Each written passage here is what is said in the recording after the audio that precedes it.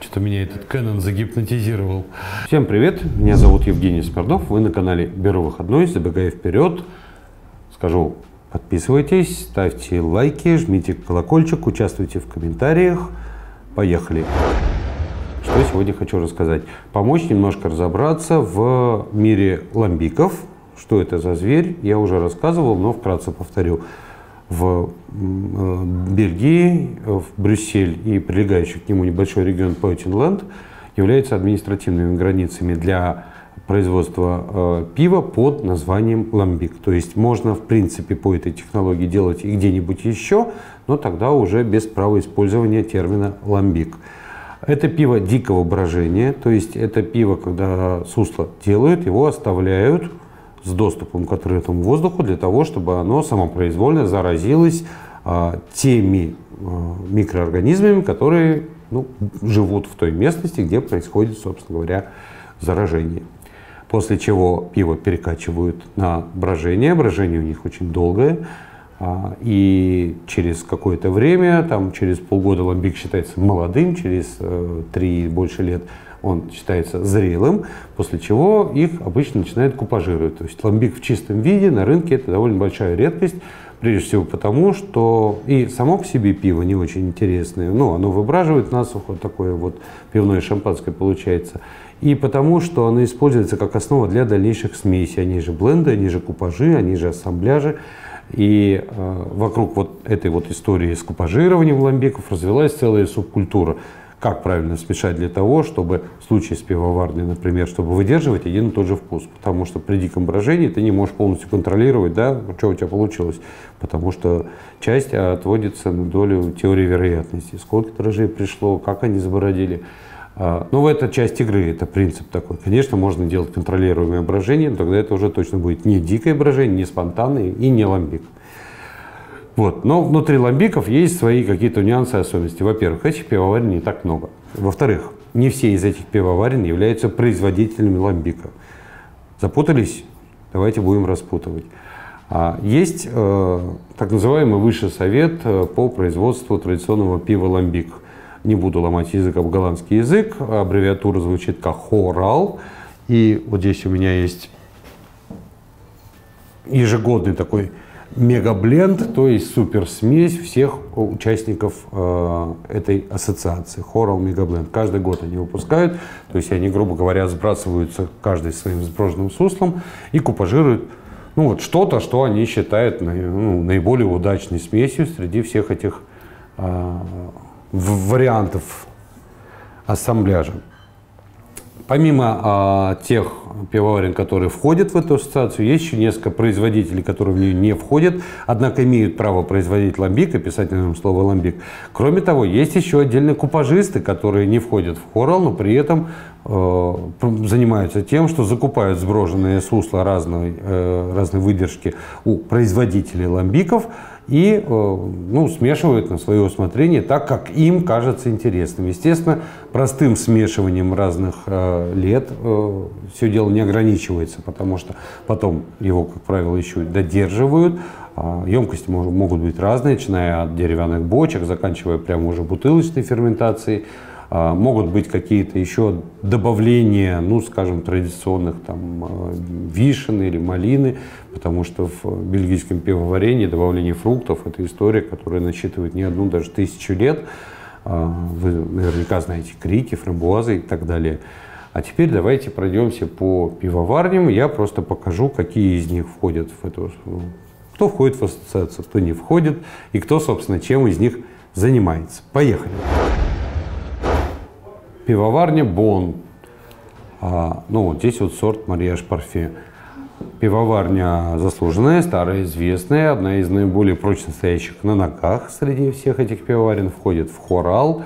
А, у нее собственный парк из более чем 8 сотен бочек, а очень активно участвует в жизни и пивоваренного сообщества, участвовала и в коллаборационных варках, предоставляла свои мощности партнерам для каких-то варок продает сусло кому-то из купажистов, кому-то еще из других партнеров. Вишню, которую она использует в своих криках, в основном закупается в Польше, хотя не так давно разбили собственный вишневый сад, и ожидается, что лет через там, плюс-минус 5 э, пойдут эксперименты с собственной вишней пивоварни Бон. Пивоварня Декам. А, это блендер, Э, входит в Хурал. Своего производства ламбиков у них нету. Закупают сусло сброженное у Бон, у Жерардин и, по-моему, Линдеманс. Э, и обладает парком бочек для выдержки купажей, то есть смесей, э, непосредственно полученных на заводе Пилснер Урпил в Чехии. Тысячелитровые бочки у них. Пивоварня Детрох производит и традиционные, и подслащенные. Вообще бельгийцы, они, вернее, не бельгийцы, а сами производители ламбиков, они всегда делают акцент на том, используется сахар для подслащения сусла или нет.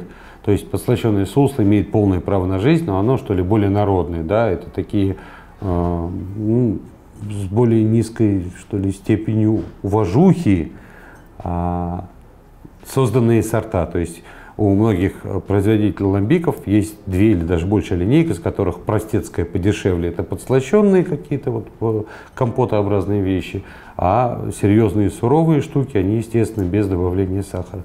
Детрох использует и те, и другие технологии, то есть у нее есть и правильные ламбики, там совсем сухие, кислые, из которых создаются такие суровые уксусные гезы, и э, ну, наиболее известна на линейке Шапо, которая использует очень много разных фруктов.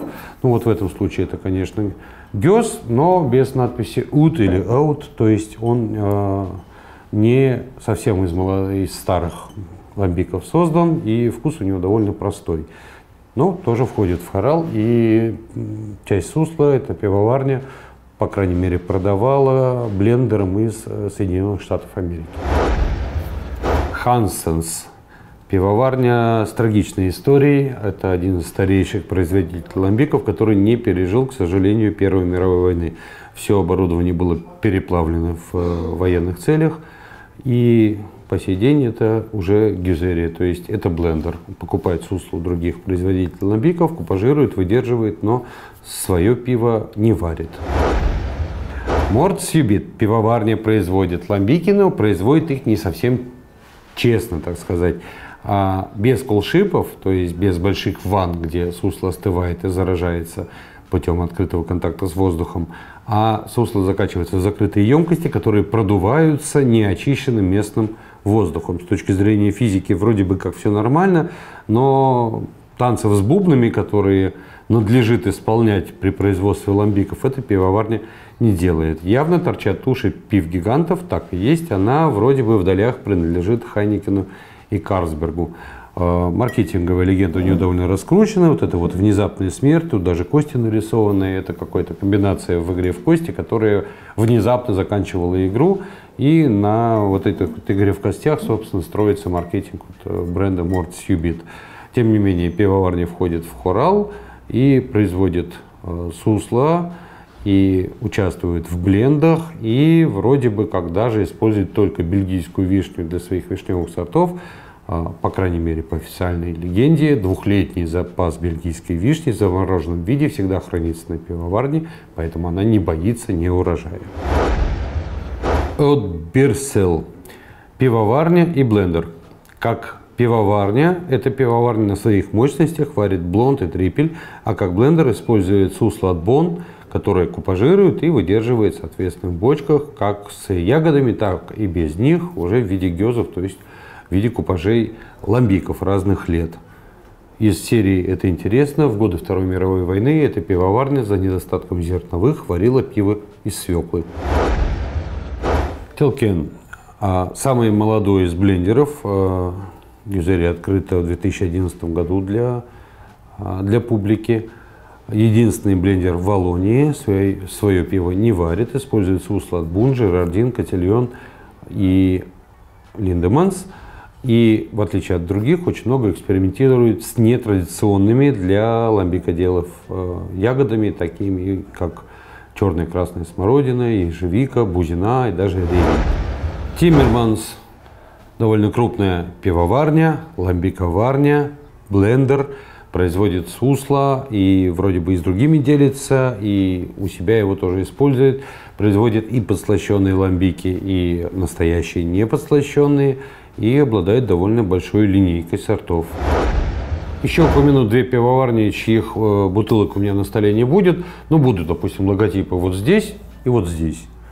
А, это Жерардин, э, производитель ламбиков, очень небольшой, очень довольно интересный, но, к сожалению, пока что в Россию его просто не привозят, и, как следствие, в ассортименте его у нас нету. Ждем, кто из импортеров первый сумеет это сделать. А второй производитель, Бельвью, он принадлежит Инбео, то есть крупнейшему пивоваренному холдингу – планеты. Последний ламбик в настоящем виде Белью выпустил аж в 1999 году и с тех пор выпускает э, такой псевдоламбик, который э, ну, просто то есть, накачивается неочищенный воздух в бродильные емкости, в закрытые. То есть это уже опять-таки нету танцев с бубнами, это уже не совсем настоящий ламбик. Ну, чего еще ждать? Подслащивает, естественно, свое пиво. Кантильон производитель ламбиков, поставляет э, сброженные сусла в Декам, Телкен, Хансенс, использует его для собственной линейки сортов, хотя в Хорал не входит, то есть не является членом Высшего совета производителей ламбиков, ну, что не мешает ему производить ламбики, действительно очень интересные, и участвовать, видите, вот в куче сортов э, других пивоварен посредством своего, своего сусла. Линдеманс крупная пивоварня, производитель и ламбиков, и традиционных, правильных, и подслащенных попроще. А Сусло использует и в своих нуждах, и делится им с другими. До 2005 года практически полностью э, сошла к тому, чтобы все выдерживать на древесной щепе, но с тех пор, наоборот, наращивает парк бочек для того, чтобы сусло выдерживалось как положено, с танцами, с бубнами и в бочках. Но выглядит парадоксально. Вот бир, э, написано ламбик и написано Барселона на этикетке. Как так? Это блендер, но который не находится в Бельгии. То есть они закупают ламбик у производителей ламбика, везут к себе в Барселону и там смешивают на свой вкус, то есть купажируют, достигая каких-то конкретных своих а, целей по вкусу ароматики, ну, после чего уже выдерживают, видимо, в каких-то емкостях и бутилируют и продают. Ну, вот, как видите, купажисты есть не только в Бельгии. Они есть в Германии, есть э, в Испании, есть э, в Шотландии, в Ирландии, по-моему, в США есть купажисты. И некоторые производители ламбиков отправляют готовые сброшенные сусла, то есть готовый ламбик, э, за пределы Бельгии для того, чтобы люди из других стран могли что-то там поколдовать и что-то намешать по своему вкусу. Оуа, бир. Это японская, но бельгийская, но контрактная пивоварня. А, не помню, как его зовут. Японец, который живет в Бельгии, влюблен в бельгийскую а, культуру ламбиков и как может, как умеет, как он сам видит, соединяет а, японские гастрономические, что ли, традиции с бельгийскими дикими пивами. Ну, очень интересно получается, очень недешево.